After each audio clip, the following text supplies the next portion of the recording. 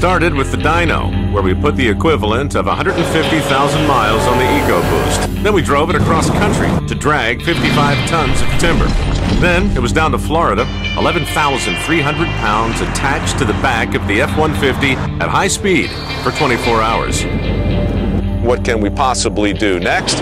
Davis Dam, a charming little stretch of road that, for about 10 miles, does nothing but ascend at a 6% grade.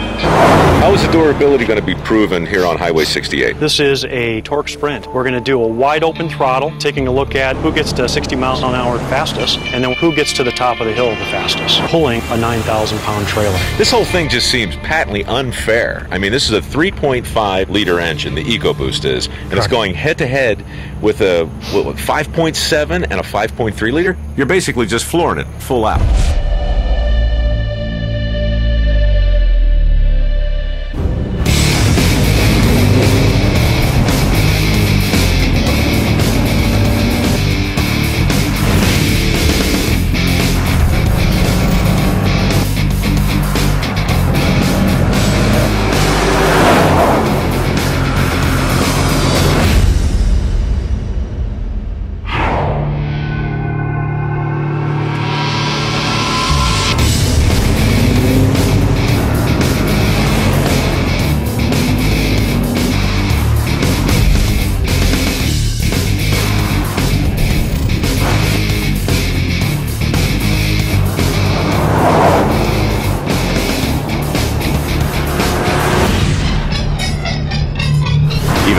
Torture we've handed the EcoBoost engine, it still outperforms the competitors' V8s.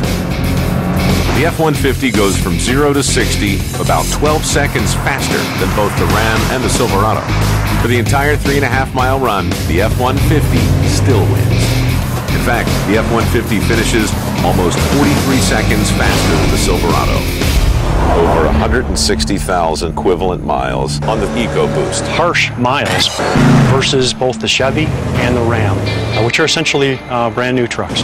This truck has just tremendous torque. For that customer who is in the field working hard, the EcoBoost engine is going to be clearly um, what they are going to be looking for. Or maybe just trying to get up a hill and pass a Chevy Silverado who's pulling a boat, who's essentially standing still. It'd be nice to get around him.